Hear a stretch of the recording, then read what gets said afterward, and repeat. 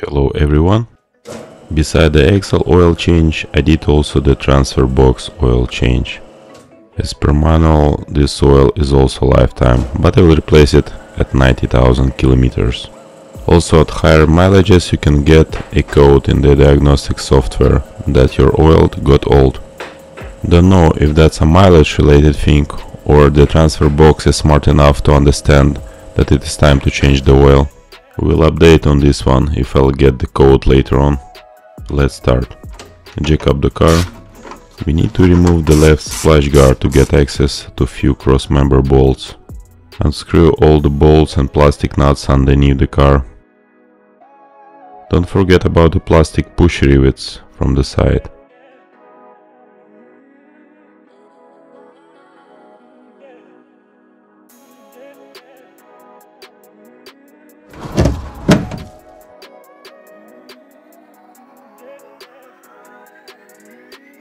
You need a jack to support the transfer box and the gearbox.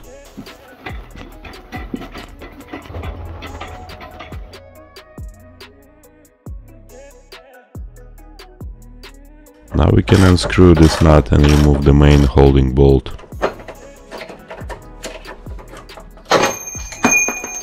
Now unscrew all cross member bolts and remove the cross member.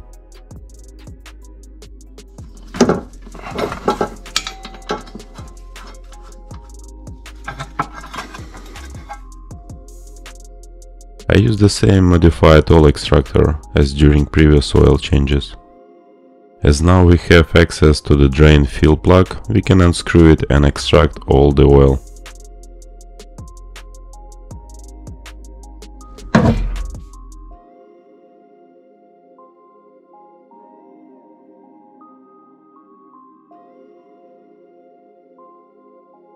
Almost everything was extracted since the fill-up quantity is around 600 milliliters.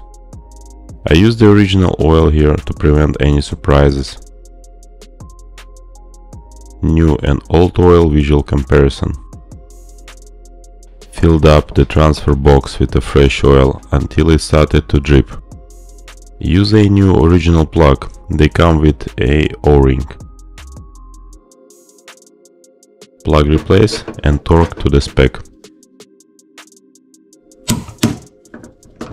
We can clean the oil stains and put back the cross member.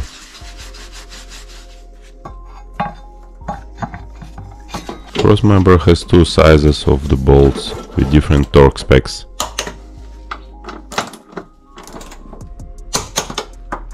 Now it is only remaining to install the main bushing bolt and torque it down to the spec.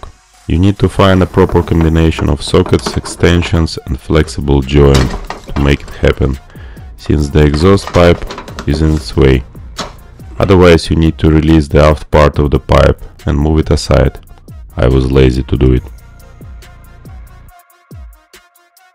That's it, thanks for watching.